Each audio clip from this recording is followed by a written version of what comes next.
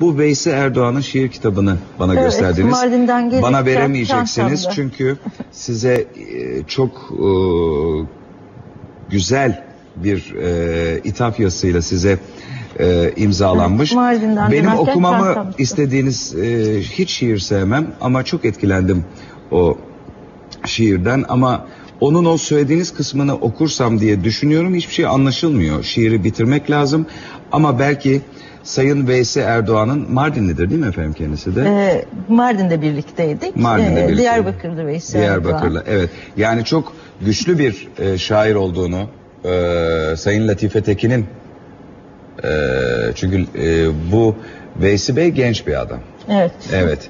Latife Tekin'i herkes tanıyor. Ya bu siz yaşlısınız demek değil. Ama Veysi Bey'in de belki şimdi okursak hoşuna gider. Belki bu geceki konuşmayı da tamamlar. Evet, Bu olan olayla var. olayla hayır onun dizesini okumayacağım. Onun alıntı yaptığı Herakleitos'un sözünü okuyacağım sonra da kapatalım. Teşekkür ederiz efendim size bana yardıma geldiğiniz için.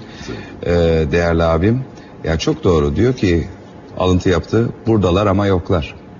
Evet. Belki bu geceyi tamamlayacak söz olacak. Çok teşekkür ederiz tekrar Ben teşekkür geldiğiniz için. Tekrar görüşmek üzere. Görüşmek Yarın gece görüşüyoruz. Hoşçakalın.